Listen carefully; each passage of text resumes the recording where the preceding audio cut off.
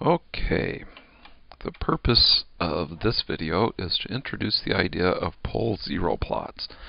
Pole zero plots are really a helpful way to conceptually understand what goes on in terms of uh, uh, the transfer function of a system or in terms of uh, the inverse Laplace transform of a function. So in a pole zero plot, we typically assume that we have a ratio of two polynomials.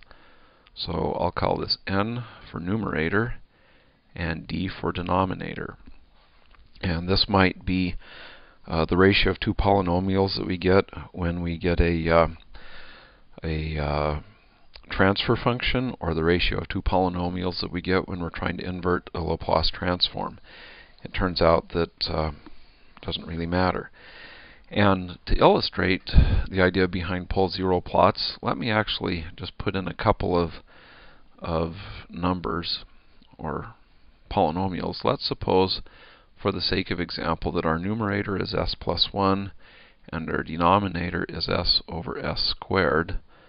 Or I'm sorry, is s times s squared plus 4s plus 13. Okay. And it turns out that the roots of the numerator, that is the values of s that make the numerator 0, there's only one and it's equal to minus 1. The roots of the denominator, or the values of s that make the denominator 0, is 0, minus 2 plus j3. So this guy here has complex roots.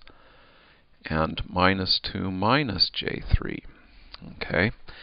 And it turns out that the location of these roots of the numerator and denominator polynomials are extremely important. Uh, in particular, the roots of the denominator polynomial tell us the sorts of time functions that are going to show up in an inverse Laplace transform.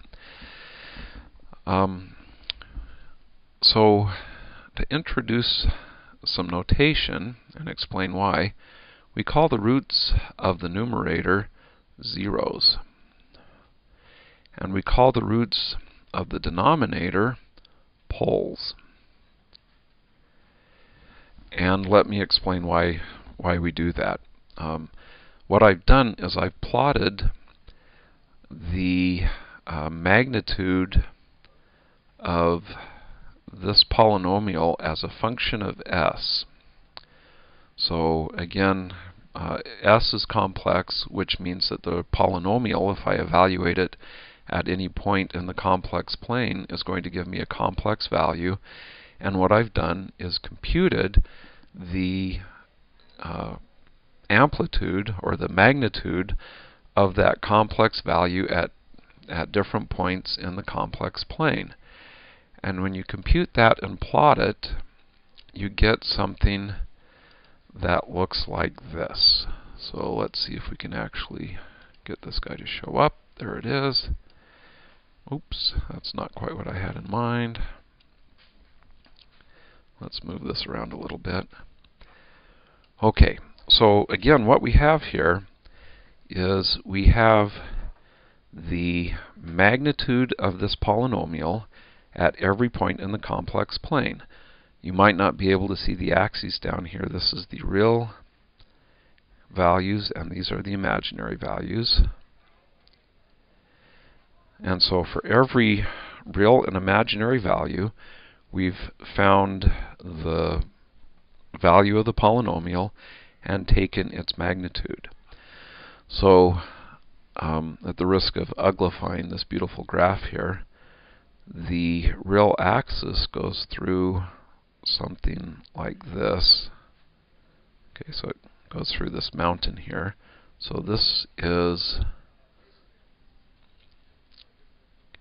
the real axis and the imaginary axis goes again through this mountain. So this is the imaginary. Okay. And these mountains, actually we call them poles, but these these things that poke up are poking up wherever the denominator of our polynomial is 0. So you'll remember we had a root of the polynomial at 0, which is this point right here. And you can see that we've got this, this the, the magnitude of the uh, function gets very big. And in fact, if MATLAB were capable of plotting it, it, the magnitude of the function at 0 goes off to infinity. And also, over here at a value of um, minus 2 minus 3, j, we have another pole, which again is another 0 of the denominator. And at minus 2 plus 3j, we have another pole, which again is another 0 of the denominator. So that's why they're called poles, is because in the plot of the magnitude of the uh, uh, polynomial, uh, they go off to infinity. It's kind of hard to see, so we'll bring up the actual plot and turn it around a little bit. If you look at minus 1 the real part of minus 1, 0, in fact, maybe if we look at it side on, you can see that at minus 1, 0, so it's a real part of minus 1 and an imaginary part of 0, that the function goes to 0. And if we spin this guy around like this and look at it from the imaginary axis, again you can see that the lowest point in the plot is where the at minus 1, 0, and that's a 0. That's actually a root of the numerator polynomial. So that's why we call them poles and zeros. Okay, so hopefully the reason why we do this is now clear. So let's clean up a little bit and talk a little bit about poles and zeros. Okay. Um, again, whenever we have something where we have a numerator polynomial over a denominator polynomial, the roots or poles of the denominator polynomial give us terms in a partial fraction expansion. So when we're taking the inverse Laplace transform of something that looks like this n over s or n of s over d of s, then each root of d of s gives us a term in a partial fraction expansion. And um, so again, if we look back at the uh, example polynomial, we have s plus 1 over s times s squared plus 4s plus 13. And this has roots of 0 minus 2 plus j3, 2 plus j3. So when I take the partial fraction expansion of this polynomial, I'm going to have some constant over s minus this root 0, which is s, plus another constant k2 over s minus the next root, which would be plus 2 minus j3 plus k3 over s plus 2 plus j3. So again, everywhere I have a root, which we also call a pole, I have a term in a partial in the partial fraction expansion. And hopefully by now you understand the idea that each of these things um, has an inverse Laplace transform. This inverse Laplace transform is k of t u of t.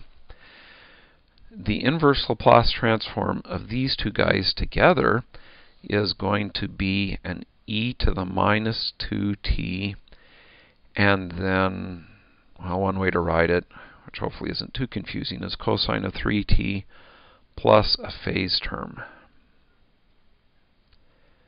And I fear that this may actually be more confusing um, the idea is that the imaginary part here gives us the frequency of a sinusoid, and the constants k2 and k3 will tell us uh, whether the sinusoid is a cosine or a sine or some combination of a cosine and a sine.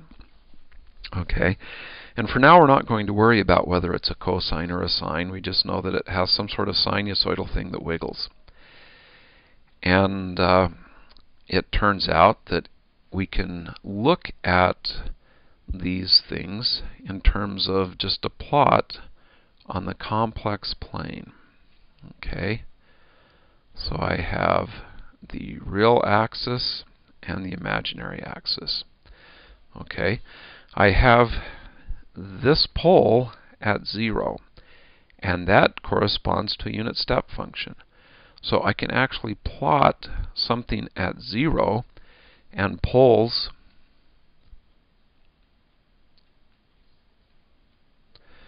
we plot with an x.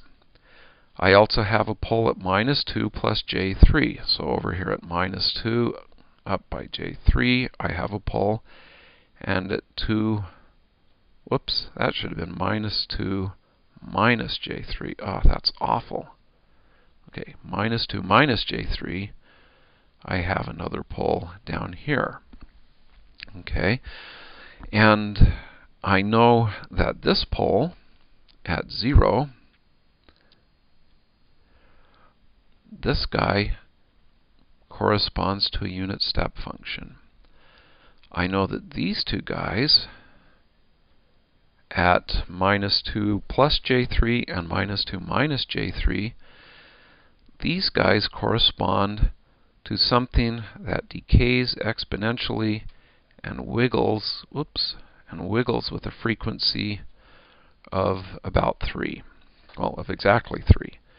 So the point I'm trying to make here is that by looking at where the poles are in the complex plane, at the origin, uh, with a particular real and imaginary part, that tells me quite a bit about the sorts of things I can expect to see. So a pole at the origin corresponds to a unit step function. Uh, a pair of poles with a negative real and an imaginary part that's either plus or minus 3 in this case corresponds to a decaying, an exponentially decaying sinusoid. Okay. So it looks like this video has actually gotten sort of long. So what I'll do is I'll stop here and then in the next video we'll generalize what we've discovered about poles and zeros.